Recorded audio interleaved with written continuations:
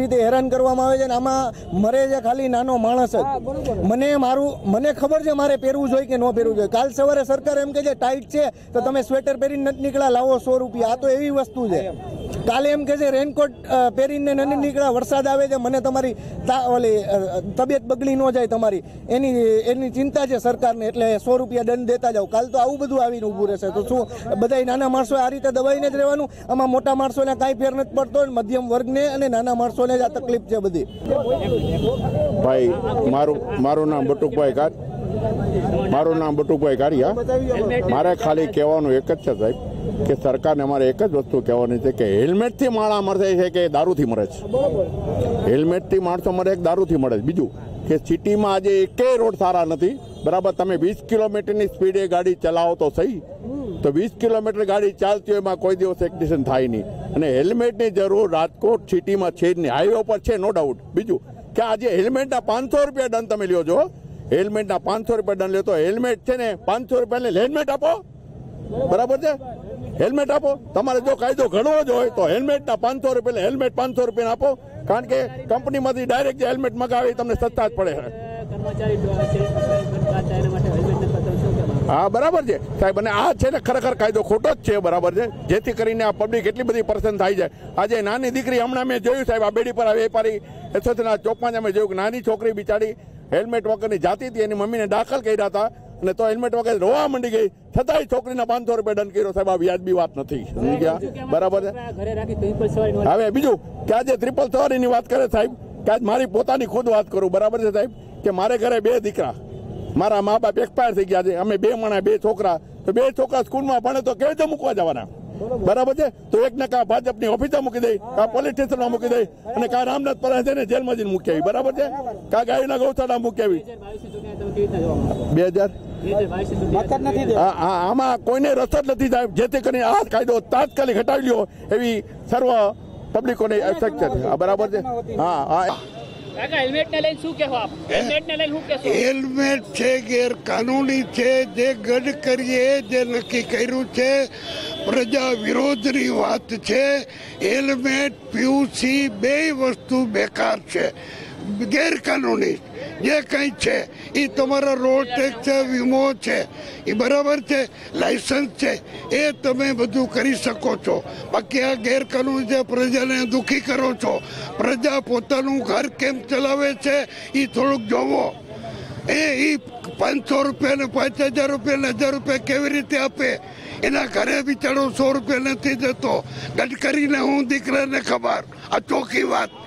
અને શું પ્રજાને કરી લેશે પ્રજા હેલ્મેટ ન પહેરો અને દરેક ઊભા રહી જાઓ. કઈ તાકાત એવી છે કે દીકરા મારે છટકાવી શકે? કેમ કોઈ બોલતું નથી? વીજળી નો થાવ પ્રજા. હેલ્મેટ માટે બે હજાર પાંચમાં અમે અઠવાડિયું જેલ ભોગવી. અઠવાડિયું. બરાબર? અને હેલ્મેટ આજે બાર તેર વર્ષ થઈ ગયા પૂરું થઈ ગયું. આજે ગડકરીએ ચાલુ કર્યું, બીજાના દેશમાં જોયું. તું તારું ઘર સંભાળ. આપણે આપણો દેશ સંભાળાય. બીજાનો દેશ નહીં. કાલ સવાર તો એમ કે ઓપન રખડે છે. તો આપણે ઓપન રખડવું? આ ગડકરી છે, કોણ છે? નરેન્દ્ર મોદીને ખબર નથી કે આટલી બધી પ્રજાએ ભાજપ સરકાર આગળ લઈ આવ્યા. હવે તમે પ્રજામાંથી ઘા મારો છો. કોણ મને સુખી છે, જરા પૂછો. એની ઘરે બિચારા કેટલા સરકારને એટલો અનુરોધ છે કે હેલ્મેટનો તમે કાયદો લઈ આવ્યા અને બીજા બધા કાયદાઓ પણ કડક કર્યા છે, સારી વસ્તુ છે. હેલ્મેટનો કાયદો છે એ સિટી એરિયા માટે બહુ ખોટો છે ને તદ્દન લોકોના વિરોધનો કાયદો છે. લોકોને સિટી એરિયામાં ફરવા માટે બહુ બધી તકલીફ પડી રહી છે. હેલ્મેટનો સિટી એરિયામાંથી કાયદો કાઢી નાખવો જોઈએ. હાઈવે ઉપર હેલ્મેટનો કાયદો રાખો તો બહુ યોગ્ય વાત છે. અને છતાંય તે જો તમે કાયદો લઈ આવો છો તો એનું કારણ શું છે એ પહેલાં જણાવો. જો તમે પબ્લિકની સેફટી માટે લઈ આવતા હોય, તો તમે એ ઈચ્છો છો કે લોકોને ક્યાંય એક્સિડન્ટ થાય તો પ્રોબ્લેમ ન આવે, તો તમે જ્યારે પણ કોઈ હેલ્મેટ નથી પડતું ત્યારે ફાઇન ઉઘરાવો, ત્યારે સામે તમે હેલ્મેટ આપો પબ્લિકને.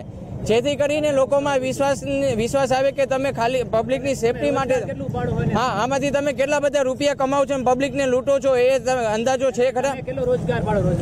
અને હું તો રોજના કદાચ હજાર રૂપિયા માંડ કમાઉં છું કે બારસો રૂપિયા કમાઉં છું પણ બીજા લોકો છે જે રોજના બસો પાંચસો રૂપિયા કમાતા હોય તો એ હેલ્મેટનો આવડો પાંચસો રૂપિયા હજાર રૂપિયા ચાર્જ કઈ રીતે ભરી શકે?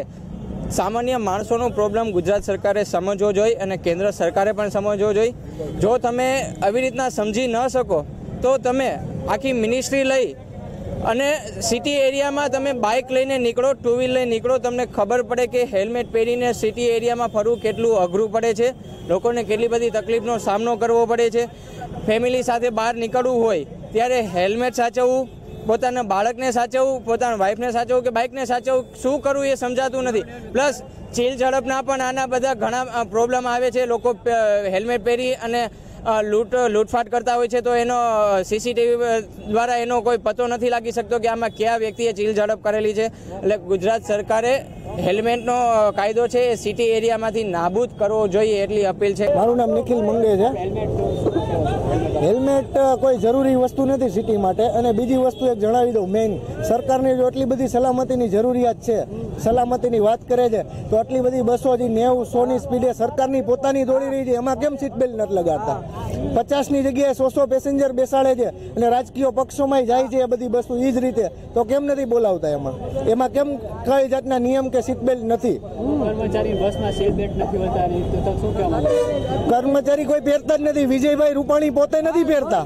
નથી પહેરતા સીટ બેલ્ટ. અને એ નહીં એને સ્વીકારવું પડશે એ વસ્તુ. બાજુમાં બેઠા હોય એને સીટ બેલ્ટ પહેરવું જરૂરી નથી. ઠોકાવાની છે તો આખી ગાડી જ ભટકાવાની છે. પાંચસો દંડ રૂપિયા દંડ તો ખોટો જ રાખેલો છે. અમે એમ કહી દઈએ હેલ્મેટ પહેરવું જ જોઈએ. ન પહેરાય એવું નથી કરતા પણ એની ઉપર દંડની જોગવાઈ ખોટી છે. સરકારે જાગૃતતા માટે કોઈ અભિયાન ચલાવ્યા જ નથી કોઈ દિવસ. કોઈ જાતના જાગૃત કર્યા જ નથી. નાગરિકને ખાલી દંડ જ ઉઘરાવ્યો છે. હું આ ચૂંટણીમાં અત્યાર સુધી હું ભાજપ પક્ષમાં હતો પણ મને હવે વિચાર આવી રહ્યો છે. સો ટકા વિચાર આવી રહ્યો છે. અને